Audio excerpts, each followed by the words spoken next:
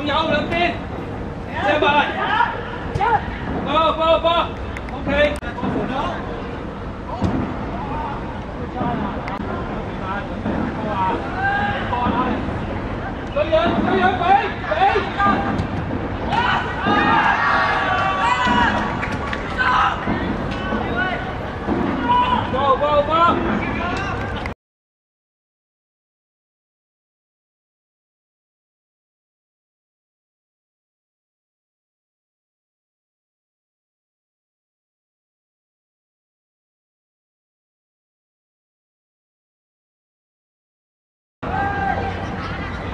guys.